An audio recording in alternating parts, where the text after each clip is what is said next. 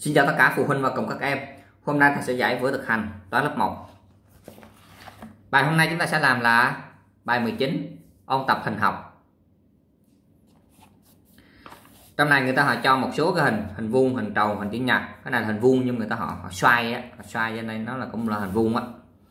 Ở này hình tròn, hình tam giác, ngôi sao, hình chữ nhật và hình à, hình tam giác.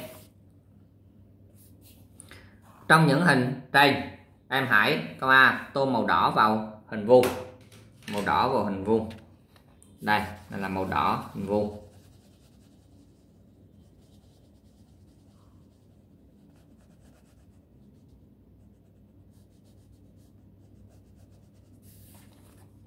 Rồi, cái này nữa hình vuông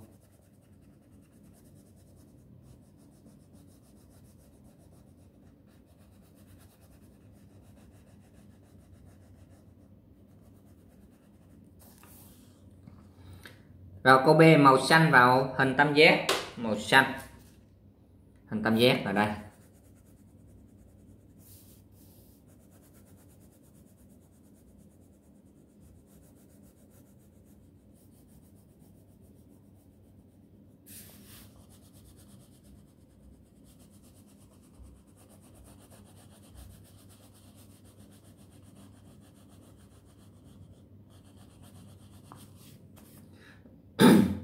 Màu vàng và hình tròn.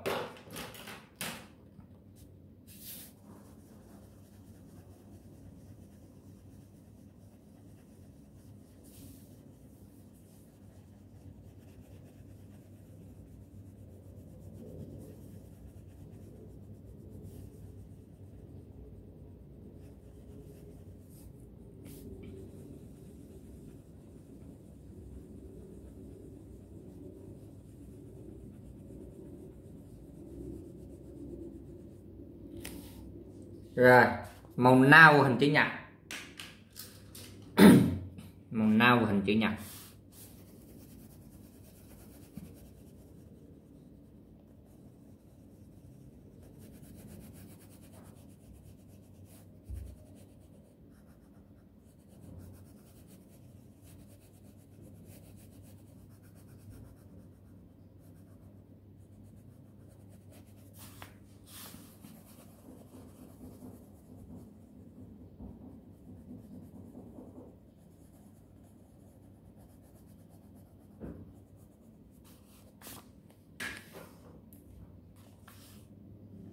Chúng ta qua bài tiếp theo là bài số 2.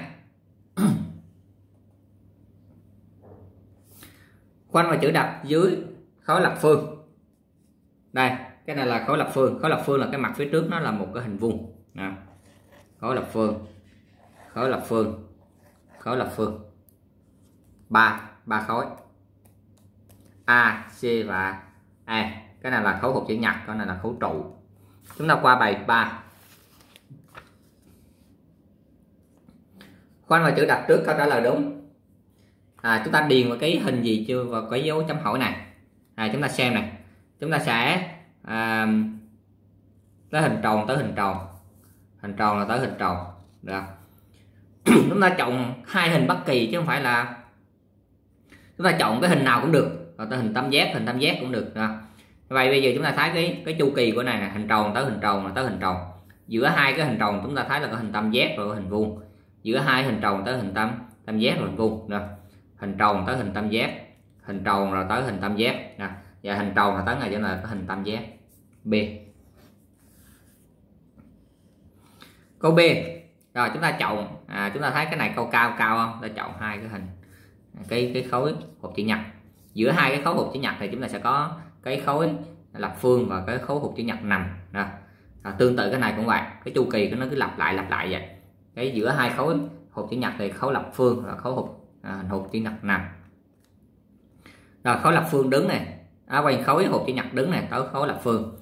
Khối à, hộp chữ nhật đứng là tới khối khối lập phương. Và khối hộp chữ nhật đứng là tới khối khối lập phương. Là đáp án là B.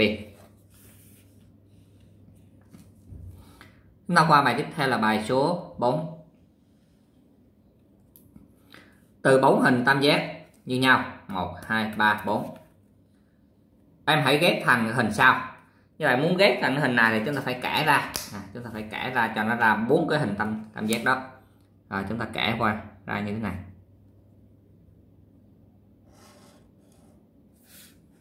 Rồi cái này chúng ta sẽ kẻ xéo lên.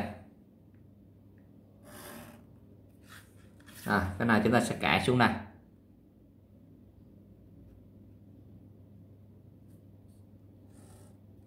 à, một hình hai hình ba hình bốn hình. À, chúng ta lắp vào. Bài học hôm nay chúng ta kết thúc tại đây. Các em nhớ đăng ký kênh của thầy để nhận được những bài học mới tiếp theo nhé. Xin chào các em. Các em muốn tìm bài học để thi bài kiểm tra thì dưới bất kỳ clip nào thầy cũng có phần mô tả.